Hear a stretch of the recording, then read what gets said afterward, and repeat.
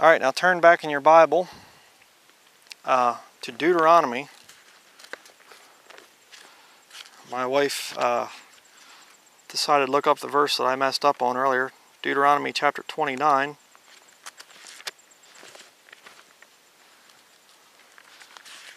That's what helpmates do.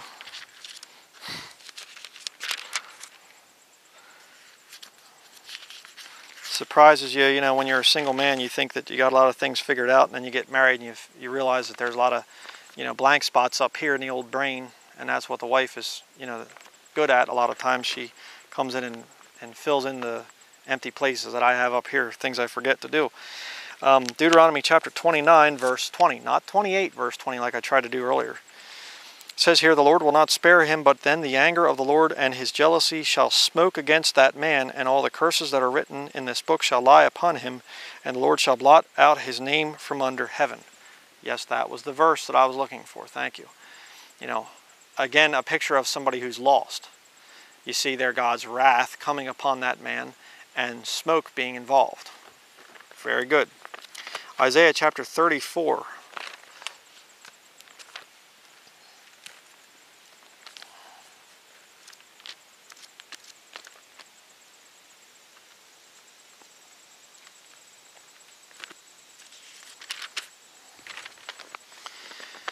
Isaiah 34, verse 8. It says here, For it is the day of the Lord's vengeance, and the year of recompenses for the controversy of Zion. And the streams thereof shall be turned into pitch, and the dust thereof into brimstone, and the land thereof shall become burning pitch. It shall not be quenched night nor day, the smoke thereof shall go up forever, from generation to generation. It shall lie waste, none shall pass through it forever and ever. Okay? Again, speaking there of the end of the time of Jacob's trouble, there's going to be areas of the of the earth there where it's going to be just totally destroyed, totally wasted. And you see there again the thing of smoke being connected with judgment. Okay? Um, turn next to Joel chapter 2. Joel chapter 2.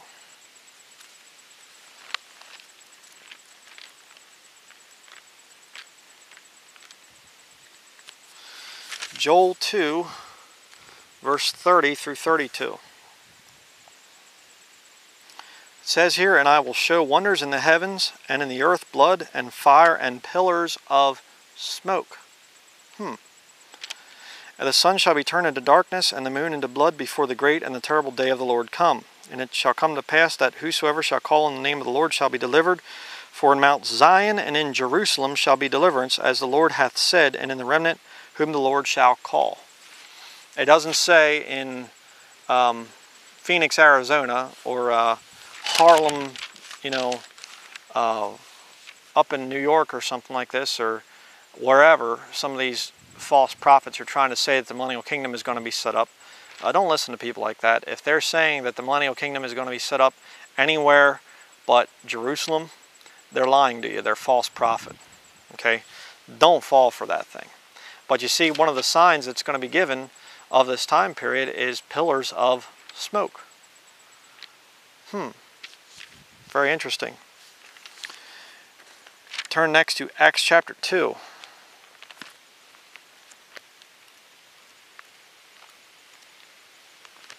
Acts chapter 2, verse 19. Here you have Peter preaching to these people, and he quotes or refers back to Joel chapter 2 there. He says here, Acts chapter 2, verse 19, he says, And I will show wonders in heaven above and signs in the earth beneath, blood and fire and vapor of smoke. The sun shall be turned into darkness, and the moon into blood before the great, that great and notable day of the Lord come. And it shall come to pass that whosoever shall call on the name of the Lord shall be saved. So there you have Peter referring back to the events there in, in Joel chapter 2. Um, but you see there again this thing of smoke. Very interesting. Revelation chapter 8. We're going to look at some of these instances here where I think some of this is going to be fulfilled in the future. Revelation 8, verses 1 through 5. Okay, it says here, and when he had opened the seventh seal, there was silence in heaven about the space of an half or half an hour. Okay, and people go, I thought there was no time in heaven. Well, he doesn't say it was a half hour. He says about the space of half an hour. So John, in his reckoning there, as a man that was just up there to see it, you know, and had to write this stuff down, he's saying about the space of half an hour, you know. Verse 2 And I saw the seven angels which stood before God, and to them were given seven trumpets. And another angel came and stood at the altar, having a golden censer, and there was given unto him much incense, that he should offer it with the prayers of all saints upon the golden altar which was before the throne. And the smoke of the incense which came with the prayers of the saints ascended up before God out of the angel's hand. And the angel took the censer and filled it with fire of the altar and cast it into the earth. And there were voices and thunderings and lightnings and an earthquake. Huh. Kind of like when God came down to the mountain there to deal with the Jews the first time. I wonder if that would be because God's dealing with the Jews again in the time of Jacob's trouble. I don't know how these people, these post-tribbers, just get so deceived into thinking that they are the center of attention in this book of Revelation. We are the ones that go through the tribulation. The church is going to go through the tribulation. Um, you're rather foolish, okay? Uh, stupid, you might say. You know, read the Bible. God's dealing with the nation of Israel. Oh, then you're saying that no, no Gentiles are going to be saved. I'm not saying that. But what I'm saying is, there are some Gentiles that will be saved. Yeah, sure, there'll be plenty of them that miss the rapture.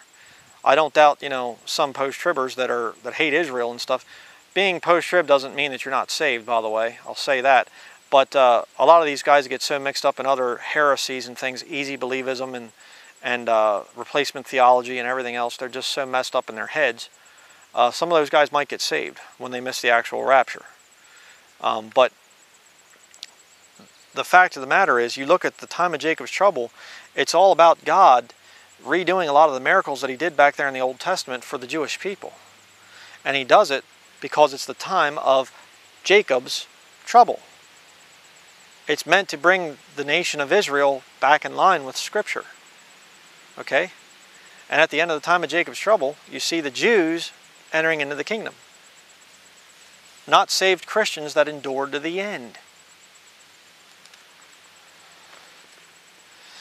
Okay, turn next to Revelation 9,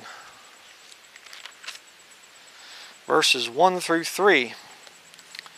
Okay, now remember that angel there, he, he sent that fire and that smoke down to the earth.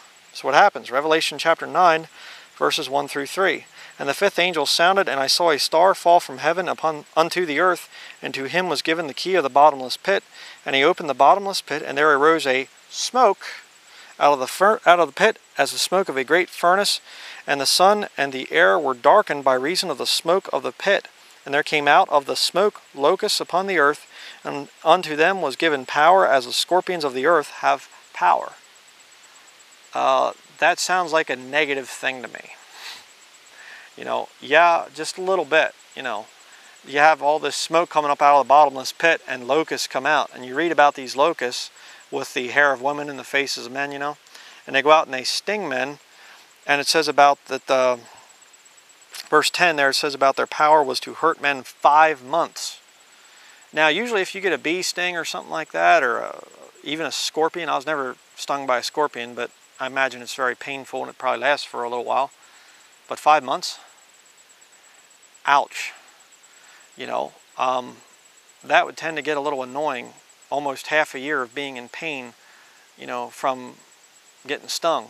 I remember earlier this year we were up here and right over that way we were picking berries and uh, we hiked up to this area and uh, picking berries and I don't know what it was. Something came out, got me on the arm and then came up here and got me on the back of the neck.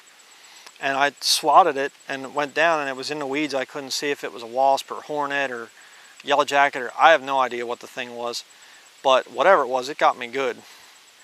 And I hurt for about eh, a couple hours after that, you know, and because uh, I was too bullheaded to, to go to hike back out of here and you know take care of it. So I was just, I'll deal with the pain, you know.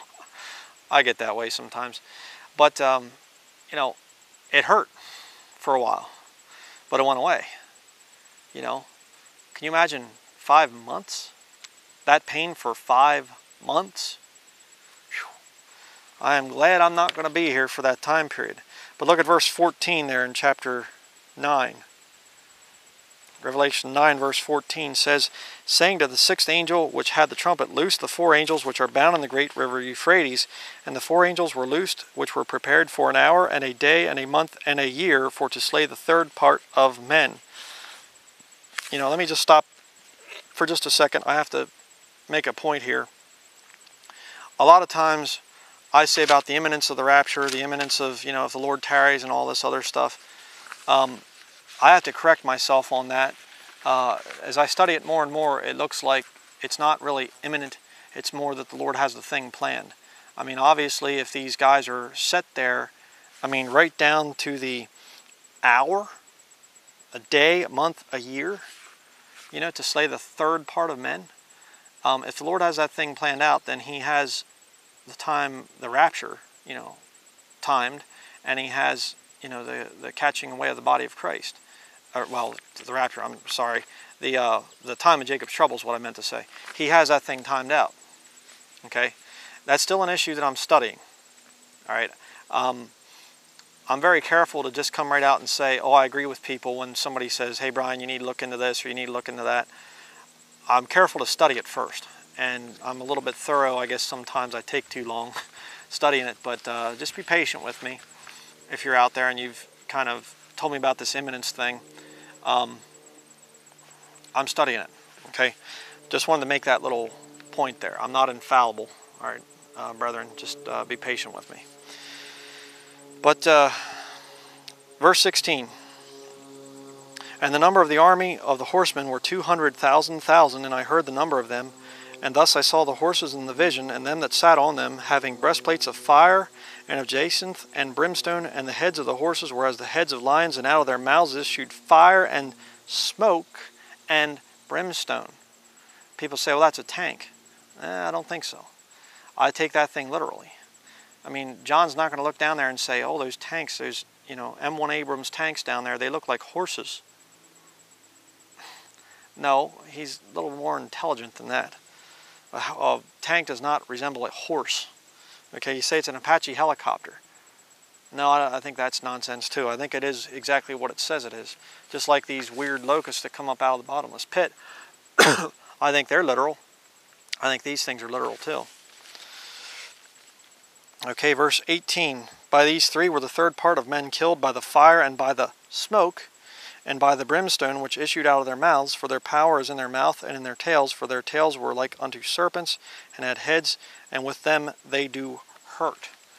Um, again, I can't imagine being here for that thing. And a third part of the men on the earth are going to be killed by that army.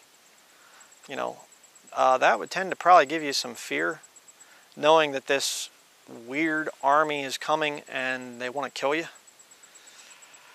Eesh. Um, I'm glad I'm saved.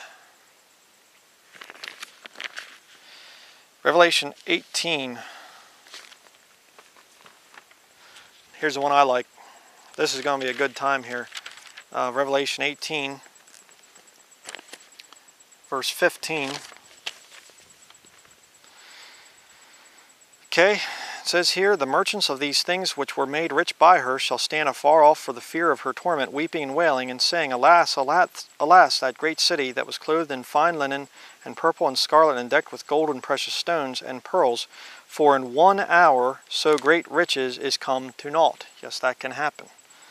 And every shipmaster and all the company and ships and sailors and as many as trade by the sea stood afar off and cried when they saw the smoke of her burning, saying, What city is like unto this great city? And they cast dust on their heads and cried, weeping and wailing, saying, Alas, alas, that great city, wherein were made rich all that had ships by, in the sea by reason of her costliness, for in one hour she is made desolate, or is she made desolate. Rejoice over her, thou heaven, and ye holy apostles and prophets, for God hath avenged you on her. And a mighty angel took up a stone like a great millstone, and cast it into the sea, saying, Thus with violence shall that great city Babylon be thrown down, and shall be found no more at all. And the voice of harpers and musicians and of pipers and trumpeters shall be heard no more at all in thee, and no craftsman of whatsoever craft he be, uh, he be, shall be found any more in thee, and the sound of a millstone shall be heard no more at all in thee, and the light of a candle shall no more at all, or shall shine no more at all in thee, and the voice of the bridegroom and of the bride shall be heard no more at all in thee, for the, thy merchants were the great men of the earth, for by thy sorceries were all nations deceived, and in her was found the blood of prophets and of saints and of all that were slain upon the earth. It's talking about the Roman Catholic Church, okay, Mystery Babylon there. The city, the, the mother church, you know. That's what's going to be destroyed. And up in heaven, everybody's hugging each other and crying and saying, Oh, I just hated to see that. That was so horrible. I just don't know why God would have poured out his wrath like that. Right? Uh, no. Let's look at uh, chapter 19, verse 1. And after these things I heard a great voice of much people in heaven saying, Alleluia! Salvation and glory and honor and power unto the Lord our God. For true and righteous are his judgments, for he hath judged the great whore, which did corrupt the earth with her fornication, and hath avenged the blood of his servants at her hand. And again they said, Alleluia, and her smoke rose up for ever and ever. Smoke again there. And the four and twenty elders and the four beasts fell down and worshipped God that sat on the throne, saying, Amen, Alleluia. And a voice came out of the throne, saying, Praise our God, all ye his servants, and ye that fear him, both small and great. And I heard as it were the voice of a great multitude, and as the voice of many waters, and as the voice of mighty thundering, saying, Alleluia, for the Lord God omnipotent reigneth. So we're going to be, be having a celebration. Okay? We're not going to weep for the Catholic Church and say, oh, you know, St. Peter's St. Peter's Basilica has been ruined. Oh boy, look at all that gold that that uh, was destroyed down there, and all the riches and all the wealth and everything in that area and stuff. Uh-uh. We're going to be up there having a party, having a good old time because we see the Roman Catholic Church being destroyed. And uh, you need to think about that if you're a Catholic. Okay? You better get out of that system. All right. We're going to hit a couple more scriptures here in closing. You say, well, okay, you know, we saw here in the Bible, the Bible talks a lot about smoke. Um, what can we safely assume from what we've seen here in the Bible? Is smoke something that is a leisure activity? No. Um, when God is associated with smoke, there's really not that many references to that being positive. Okay, um, when God made a covenant there with Abraham, yeah, that was positive. You know, he passed between the animals, the, the sacrifices there as a burning lamp and smoke. You know, he appeared to Moses as a burning bush, you know, and, and a pillar of, of smoke by day, cloud by day, and a fire by night. You know, there are those positive references. But uh, when God has smoke coming out of his nostrils and kindles a fire in his mouth, and fire comes out, it's negative. It's a sign of judgment, God's wrath. Why would a Christian want to smoke? I mean, would that affect your perception of me? If I said, uh, in closing here, let me just uh, light one up. It's been kind of a little while here since I've been able to smoke, and you know, you know, put one in. You know, I'm sitting here smoking. You know, well, of course that would look bad. So why would you do it? You know, am I better than other Christians out there? No. Uh, we're all going to have to answer the judgment seat of Christ. I mean, give an account of our lives. Uh, it's a really bad testimony, brethren. And don't try to use any of these scriptures to, to justify your smoking addiction. All right? 1 Corinthians chapter 10. Here's the real uh, rule for a Christian. This is something that you have to think about before you do anything in this life. I mean, you know, what the big argument would be, people come out and they'll say, well, there's no direct, open prohibition in Scripture that says, thou shalt not smoke camel cigarettes or something. You know, so then it must be okay, right? No. Um, the Bible doesn't have to openly condemn certain sins for those sins to be wrong. Here's the test. 1 Corinthians chapter 10 verse 23 says, all things are lawful for me, but all things are not expedient. All things are lawful for me, but all things edify not. Now, as I said, if I was smoking on camera here, would that edify you as my brother or sister in the Lord? No. Um, would it be expedient? I mean, we're trying to save up our money, you know, to, to buy land and build a home on it and things. Um, is it expedient to go out and spend 30, 40, 50 dollars for a carton of cigarettes? You know, no, that's not expedient. And, uh, you know, let me just say, I want to kick something else here too while I'm at it, because I'm here, you know, uh, in Lancaster County, Pennsylvania, where I grew up. Um, there's a lot of Mennonite Amish farmers, and they are holy, holy people, you know, and yet they grow tobacco in their fields, and they get rich off of tobacco. And, you know, my wife was doing some research, and she found that tobacco plants actually deplete the soil. They draw a lot of nutrients out of the soil. You know, it's a weed, basically, and the, the Native American people here in America would use this weed, and they'd smoke it and get high and whatever else, you know. And the white man comes here and he realizes, hey, I can make some money at this thing. And so he plants this weed all through the fields and buys up all these big fields to plant his tobacco crop and it depletes the soil, which messes with your regular crops that you eat. Tobacco's never been right. Okay? You aren't going to see that in the in the Bible where, you know, Paul and Peter were lighting up outside the, you know, the meeting place there, you know, the upper room and things. They went out back and had a smoke afterwards or something. You don't see that there. All right, you shouldn't be messing around with cigarettes. Very, very, very bad for your health. You say, well, I won't go to hell if I smoke, right? No, you won't go to hell. You're going to lose your salvation. Uh, there's a lot of stupid things that you can do as a Christian that you won't lose your salvation. Doesn't make it right. Okay? All things are lawful for you, but they're not all expedient, and they don't all edify. Now the parallel verse to that is 1 Corinthians 6 verse 12. Turn there. 1 Corinthians chapter 6 verse 12, just a few chapters back here. 1 Corinthians 6:12 says, "All things are lawful unto me, but all things are not expedient. All things are lawful for me, but I will not be brought under the power of any." Um, question: Can you smoke cigarettes and not be brought under the power of them? Well, I assume you could, if you didn't smoke that many but it doesn't often work that way, does it? Pretty soon you're smoking a pack a day or maybe a half a pack a day or something like that. Why? Because you're addicted to the nicotine. And that stuff gets into your body and it starts to mess with your lungs, starts to mess with your mess with your health.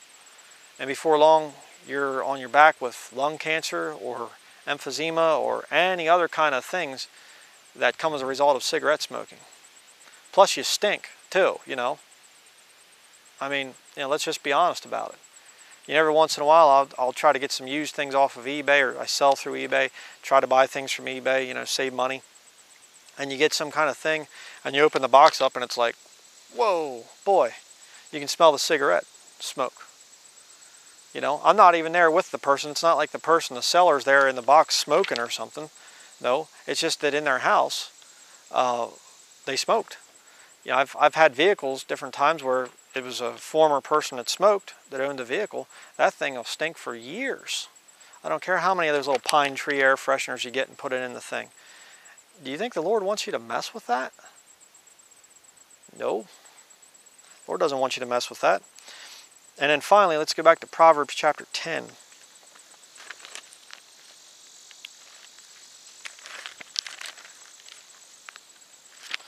Proverbs 10. I'm Going to see some interesting things here. Proverbs 10, verse 23 through 27 says here, It is as sport to a fool to do mischief, but a man of understanding hath wisdom. And I'm going to just kind of go verse by verse here because there's some real good stuff in this. You know, it's a sport to a fool to do mischief. You know, most people that take up cigarette smoking, they don't do it in the front of their parents. They're out back behind the barn or out in the woods or out with their buddies from high school, you know, and they go out and they smoke. Tell you a little story about myself. Uh, me and a friend of mine, back when I was a, a kid, I was probably, I don't know, 12 years old, 11 or 12 years old, and we were riding our bicycles on these backcountry roads, and there's this package of uh, cigars little miniature cigars, White Owl Miniatures. I'll never forget the name brand. White Owl Miniatures.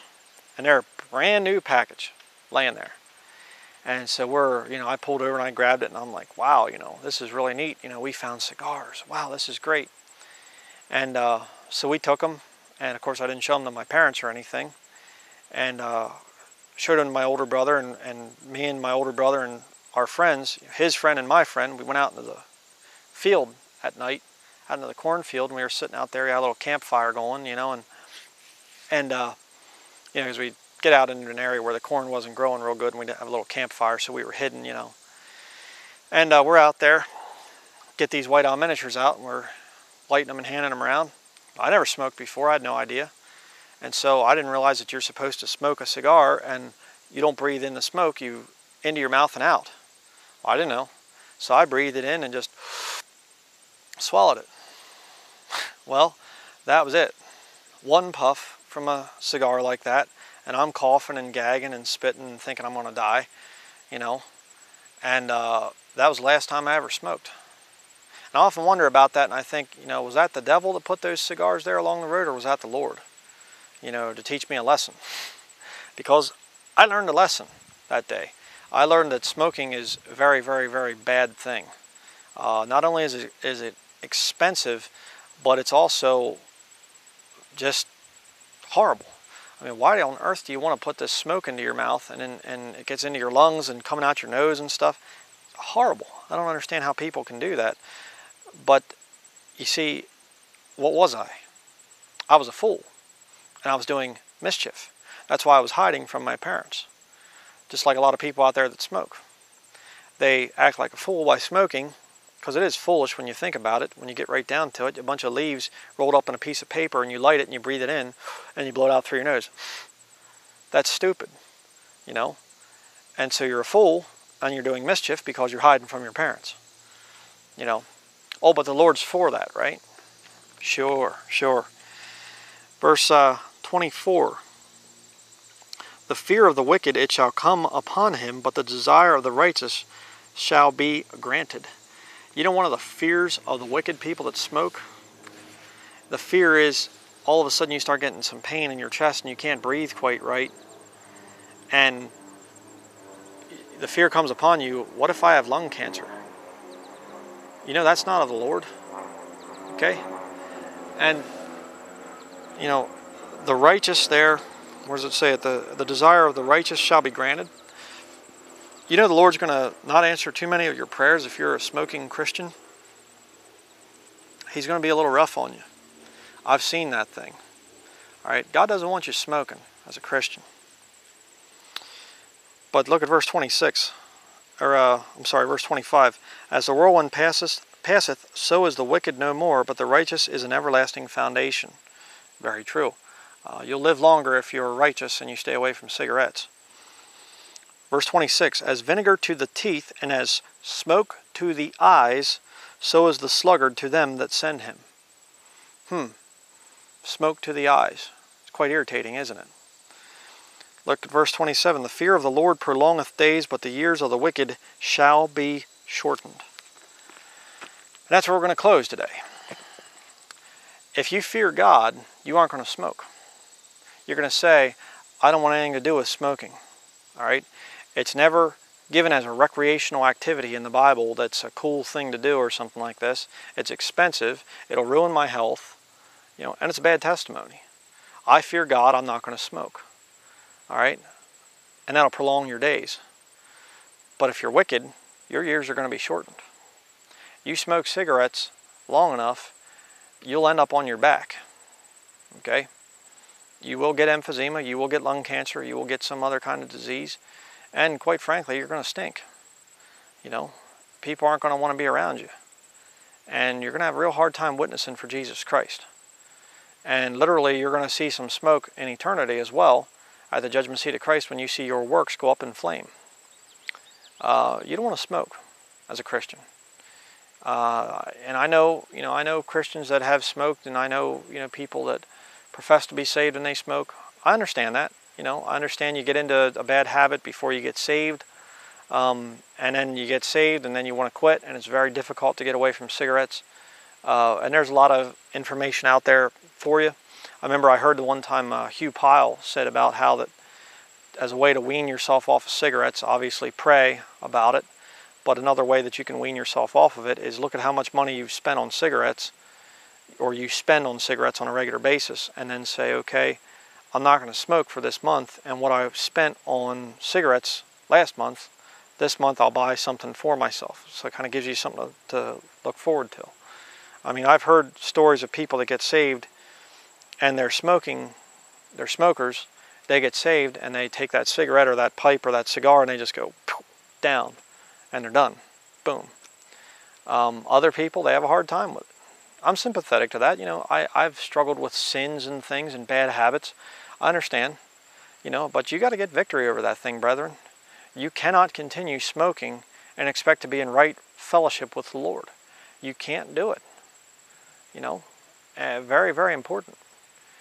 And um, if you've watched this message and you're lost, you don't know for sure that you're saved, boy, you better get saved soon because the time of Jacob's trouble is rapidly approaching. I don't know the day or the hour. I don't know the time that the thing is going to happen. Um, it could be soon. Uh, I know some of the brethren, you know, talk about the uh, some of the Jewish feast days, and they're saying it could be as early as September coming up here. I don't know. I, like I said, I've looked at the issue. I haven't. I just don't feel like I've studied it enough to really say one way or the other at this point in time. But um, the Lord is coming back and he's going to be taking his saints away. And if you don't make it for the catching away of the body of Christ, you're going to have to die for Jesus Christ in that time period that's coming. You're going to be beheaded, more than likely, or tortured to death, or God knows what else is going to happen to you. Um, it's going to be bad.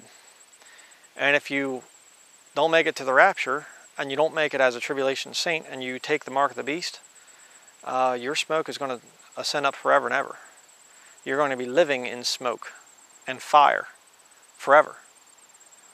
And you know, when you get around a real bad fire or something like that, and there's a lot of smoke, it burns your eyes and things, like we read there in Proverbs. That smoke burning your eyes, that's eternity for you if you're lost. Boy, I wouldn't want to go to there. But uh, that's going to be it on, for this message. Um, got a bunch more stuff coming out here in the future a lot of work to do, but uh, uh, just keep praying for the ministry. And um, we'll see here as, as we continue. We're going to have some multi-part studies coming out and things. More pre-trib rapture moments coming up too. I've been designing a couple new ones. Um, so we'll see. But let's close here with a word of prayer. Heavenly Father, I do thank you, Lord, that uh, we can know that we are saved. Those of us that have put our faith in your shed blood on the cross. Uh, we can we can know that we have a right relationship with you. We can know that we are sealed until the day of redemption. We don't have to worry about uh, being consumed in fire, being burned forever and ever and ever down in the fires of hell. Don't have to worry about that. We don't have to worry about facing your wrath, uh, the the terrible things that you're going to do to this earth. And uh, Lord, I thank you for those promises of your word. Uh, but Lord, I want to pray a special prayer for any Christian out there that is having trouble with, with uh, smoking, a smoking addiction. I pray, Lord, that you would just really convict that person out there, man or woman. I know both do it nowadays. I just pray, Lord, for your conviction to be upon them and that you would help them to overcome this horrible addiction that they have, that they'd be able to get away from, from cigarettes or from pipe or from cigars, even chewing tobacco, Lord. It's, it's still, it's, it's that, that wicked plant that's a weed and is just a blight upon our society. Nothing positive comes from that weed. I just pray, Lord, that they would be convicted of it and that they'd get away from it and uh, return to your word and clean up their lives, both uh, spiritually and physically. And I just, uh, I guess, just pray that everyone out there would just continue to stay in your word and stay praying, stay listening to the right kind of music, no matter how um, bad times get. Give everybody out there uh, strength in witnessing. And um, I just ask all of these things in the name of our Lord and Savior Jesus Christ. Amen. All right, that's going to be it. Um, thank you very much for watching. And like I said, uh, keep looking for some new videos to come out. Please keep praying for the ministry. Um, a lot of things going on right now. So I just pray that, uh, just please pray for the Lord's strength as we have a lot going on. So that's going to be it. Thank you very much for watching.